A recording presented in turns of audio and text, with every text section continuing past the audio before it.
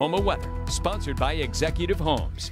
We're waking up to a quiet start in Tulsa, not necessarily the case for everyone, Michael. We've had some rain to the south, but it is quiet in Tulsa, some clouds overhead, a little bit of sunlight trying to peek on through, but we'll see a bit more sunshine by later this afternoon. It's actually going to turn into a very nice day, below average temperatures for early June standards, not much humidity, really looking good for us today. Here's the view here along uh, Highway 169 South Tulsa on the Wade's RV Weather Camera Network, and again, nice and quiet for us out there this morning. But we've had some rain and some thunderstorms to the south Still some heavy rain here. Basically Highway 270 southward, McAlester, Wilburton, Hartshorne as you head back over to around Savanna, Kiowa. We've got the heavy rain coming down. This will continue to push its way southward as we go through the morning hours. So we're going to leave that chance here mostly to the south this morning, but moving on out. And as we continue into tomorrow morning, we'll have another chance for a few showers, maybe a few rumbles of thunder. That chance will be highest farther south and west. And then we'll bump up those rain chances into Saturday with a few scattered showers and thunderstorms looking possible. So we may open up the weekend